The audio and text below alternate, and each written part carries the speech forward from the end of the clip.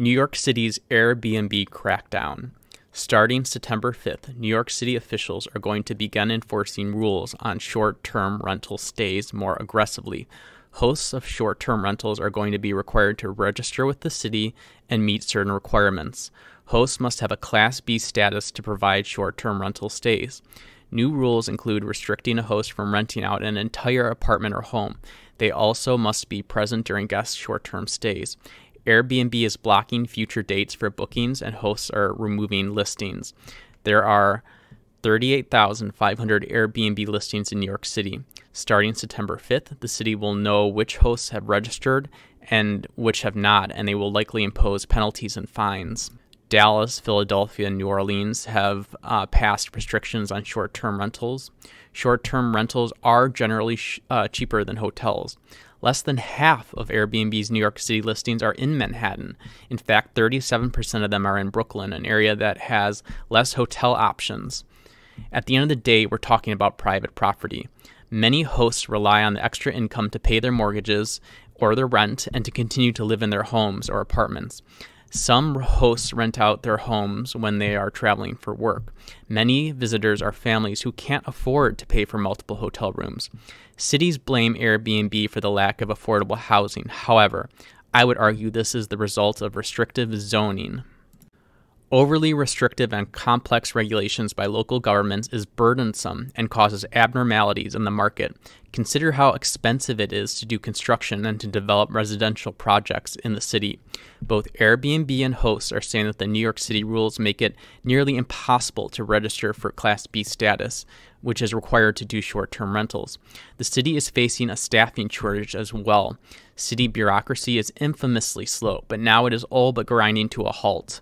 As of July 25th, the city received 1,632 host registrations, yet only 141 have been approved, according to Airbnb. Even legal Airbnbs have little chance of being approved by the city in a timely manner.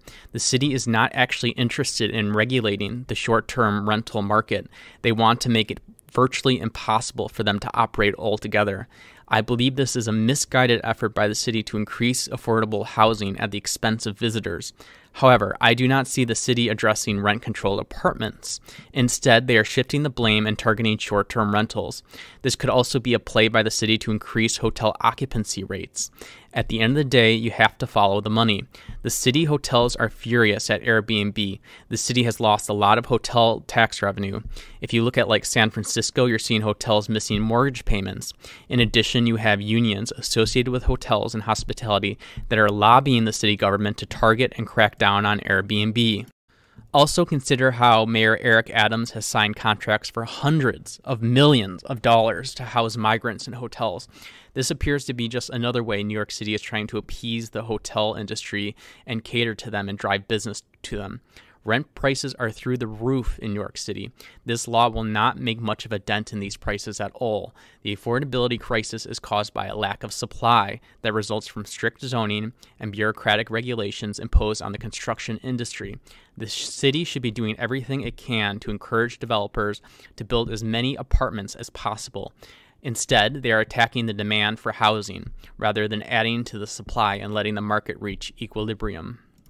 This is really about politicians blaming the private sector for their incompetence. It is virtually impossible for people to own their homes or apartments in New York City.